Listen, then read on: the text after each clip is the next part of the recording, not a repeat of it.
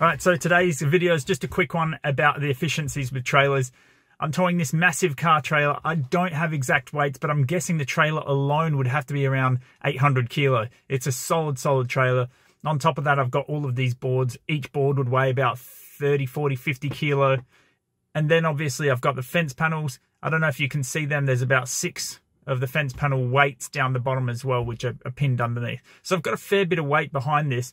And on top of that, this is a lot wider than the car, so the wind resistance as well.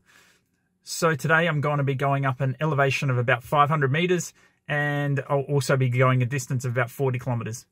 My guess is with the car alone, with that elevation, I'd use about 60 kilometers worth or 50% more. But uh, with this trailer, I wouldn't be surprised if we're something between double and tri and triple. So instead of using 40 kilometers worth, we might use like 120 kilometers worth. So we'll also have a look at the consumption graph when we get there, and that will show us uh, our watt hours per kilometer. All right, let's go.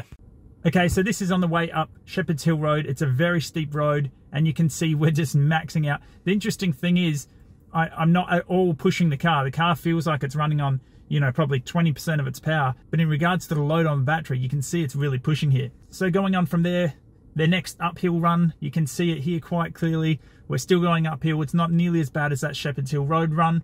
Then we've got the last run here. You can see it's slowly tapering down.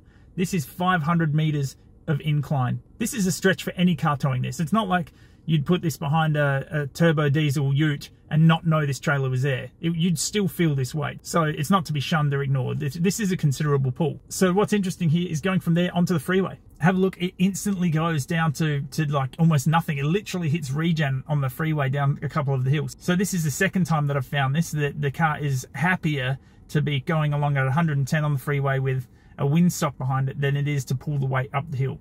Now it does both quite easily, mind you. It does it like it's it's nearly nothing. The only time you notice it is on your range. The only time you notice it is on the battery capacity. So there you go. We did a 45 kilometer drive.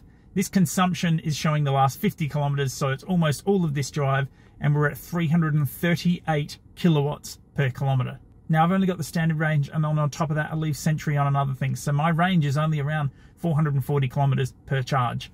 Now just as a bonus here for anyone that's curious, I actually have to get this car trailer up that hill there. And I know a heap of you would cry at the thought of your car off-road, let alone having to tow a trailer at the same time. In truth, I don't actually know if I get there. I suspect it's dry enough, but I'm just going to hit it with a bit of speed. We'll see how we go.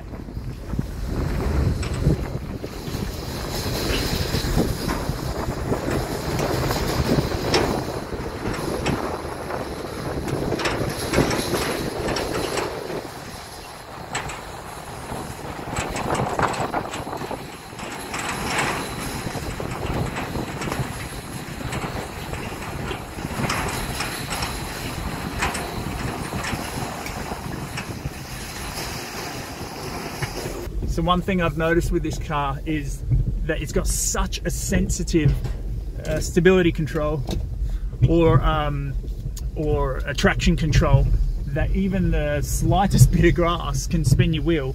And because it's so sensitive it just turns the power off nearly instantly. And then when you turn that power off uh, you just can't go forward. Oh I'm getting all this shit in the car.